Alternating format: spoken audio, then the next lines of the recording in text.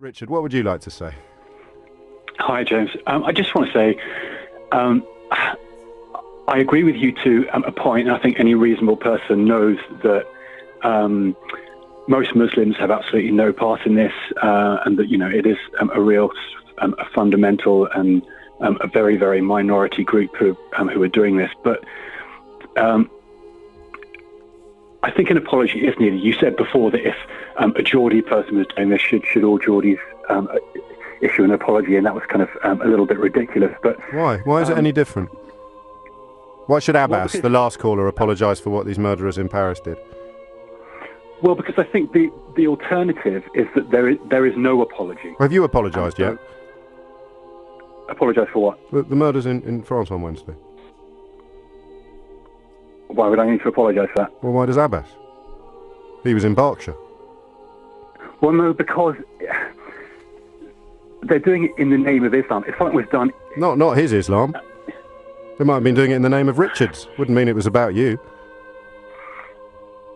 I know, I know, but the. So why haven't you apologised? You can do it now if you want. There, no, there has to be. There has to be some. These, these people are um, are committing acts of terror um, in the name of Islam. Not in the name of his Islam. I know, um, I do understand that. So if I if I went and blew somebody up now and said I'm doing it in the name of Richards everywhere, you would feel you had to apologise. If that wasn't the shoe bomber called Richard Reid, have you apologised for him yet? You're making it a bit ridiculous. No, you are. I'm, re- I'm really not. They just okay. Well, tell me why you haven't apologised for the shoe bomber whose name was Richard, because Abbas has to apologise for a terrorist who said he was a Muslim.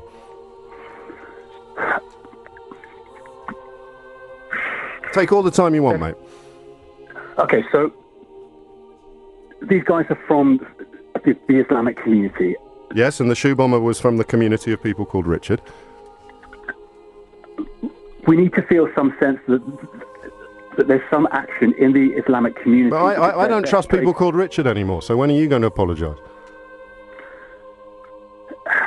It's a bit difficult to argue against you when you're you're being like this